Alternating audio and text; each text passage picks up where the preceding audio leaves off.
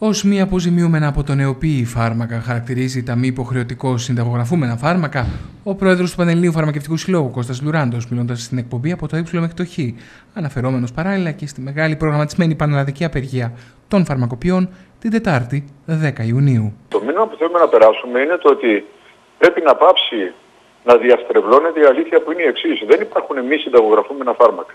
Κακώ λέγονται μη συνταγογραφούμενα φάρμακα. Είναι μη αποζημιούμενα από τον ΕΟΠΗ φάρμακα. Είναι φάρμακα που πριν τρία χρόνια δίνονται από, τα, από τον ΕΟΠΗ, ε, αποζημιωνόταν και ο ασφαλισμένος πήρε μια συμμετοχή.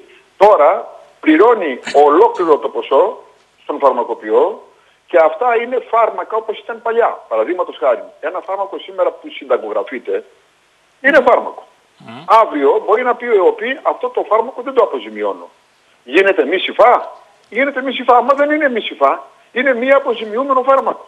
Άρα τι γίνεται στην ουσία; Μεταφέρεται ένα ποσό της φαρμακευτικής δαπάνης του ΕΟΠΗ στις τσέπες κατευθείαν του καταναλωτή.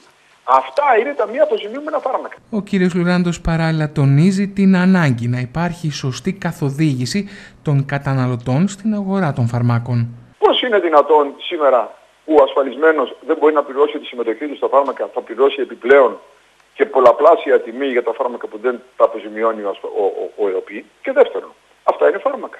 Έχουν παρενέργειες, έχουν ενέργειες, έχουν συνενέργειες, έχουν χρήσεις. Πώς γίνεται αυτό; Θα πάει καθένα και θα παίρνει πρώτο το αντιβυχικό του, το αντιδιαρροϊκό του, θα παίρνει ξέρω εγώ το κολλήριό του, θα παίρνει τις, τις κρέμες για, το έξανα που έχει από το σούπερ μάρκετ κατευθείαν και να συμβουλεύεται. Πώς θα τα παίρνει, 4-5 την ημέρα κα, κατά τύχη; Για το Σάββατο έχει προγραμματιστεί η Γενική Συνέλευση του Πανελληνίου Φαρμακευτικού Συλλόγου για τον καθορισμό των περαιτέρω κινήσεων των φαρμακοποιών.